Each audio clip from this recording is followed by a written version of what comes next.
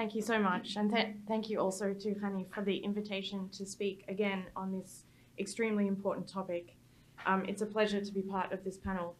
Uh, so, crimes against humanity are crimes that are committed as part of a widespread or systematic attack on a civilian population. The detention, disappearance, torture, and killings of large numbers of Iranian civilians in 1988 and today qualify as both widespread and systematic attack on a civilian population. These crimes committed against Iranians in 1988 and today amount to the crimes of humanity of murder, torture, imprisonment or severe deprivation of liberty, persecution on political and religious grounds, enforced disappearances, and other inhumane acts. The impunity surrounding these crimes has only emboldened the perpetrators. With Ebrahim Raisi in power, it is clear that within Iran, there will not be justice for victims and that the violence only continues.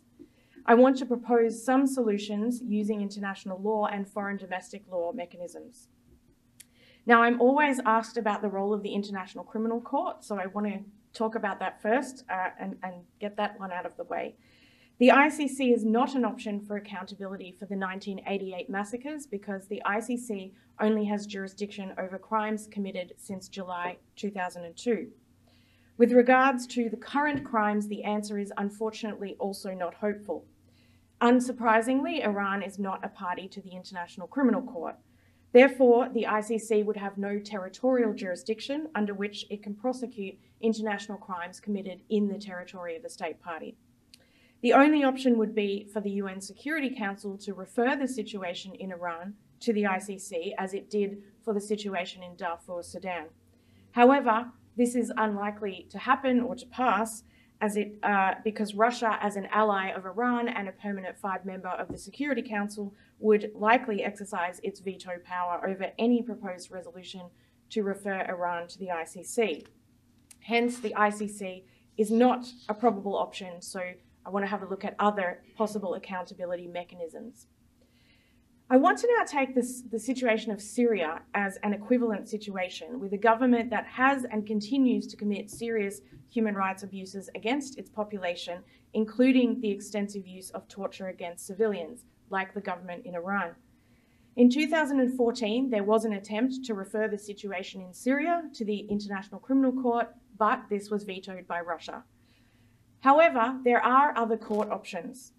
In June this year, the Netherlands and Canada initiated proceedings in the International Court of Justice against Syria, mm-hmm. alleging that Syria has international responsibility for its gross and systematic failure to fulfill its obligations under the Convention Against Torture, to prohibit torture and other forms of cruel, inhuman, inhuman or degrading treatment or punishment. Syria has thus far not participated in proceedings, but Canada and the Netherlands have requested provisional measures of arbitra- uh, including the cessation and prevention of all acts of torture, cessation of arbitrary detention, and release of all persons arbitrarily detained, allowing monitoring of places of detention, and disclosing the location of burial sites of persons killed through torture. And the court is now deliberating this request. Now, Iran is not, again, unsurprisingly, not a party to the Convention Against Torture, but it is an active member of the International Court of Justice. And the prohibition on torture and cruel, inhuman, or degrading treatment or punishment is customary international law. And therefore, this would be a means for any state to bring a case against Iran in the ICJ. Such proceedings could use the same arguments as the case against Syria, with similar requests for provisional measures. Likewise, though, the right to life is customary law, and an argument could also be made that the prohibition on enforced disappearances is customary law, which means allegations of the violations of these rights under customary law could also be initiate proceedings. I also want to touch on universal jurisdiction, which has been mentioned by the Special Rapporteur and the Ambassador. So, returning to Syria, third states have also been involved in the prosecution of perpetrators of torture. In recent years, Germany convicted a former senior Syrian intelligence officer for crimes against humanity and a lower ranking officer for aiding and abetting crimes against humanity.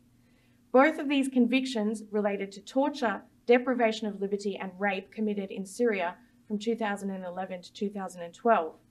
The crimes and crime category are thus the same as those we find in Iran. The case is a precedent of the enactment of universal jurisdiction in a foreign domestic court. Universal jurisdiction allows a country to prosecute a national of any country for international crimes committed anywhere in the world.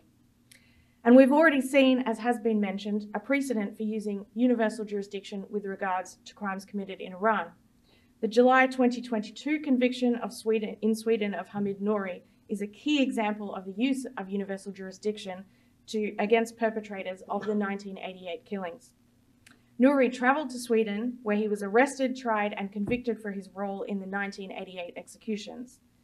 Sweden's example, just like Germany's example with Syrians, should be followed by other countries. A dedication to prosecuting Iranian human rights violators would effectively render a travel ban on those who participated in the 1988 executions and those who are perpetrating current crimes, as they would be arrested if they travelled abroad.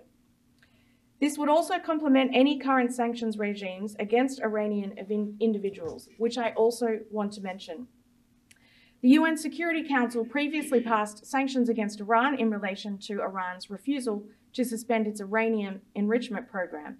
However, there have been no UN sanctions imposed with regards to human rights violations, undoubtedly, of course, again, due to Russia.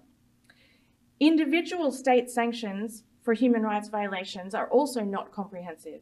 For example, the United States and Australia have sanctions against Iran related to the non-proliferation, but not human rights violations.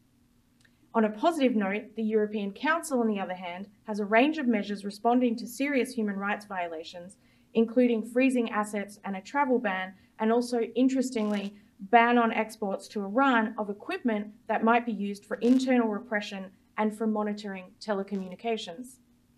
These restrictive measures have escalated significantly since the death of Mahsa Amini and now apply throughout the EU to a total of 227 Iranian individuals, and 43 entities.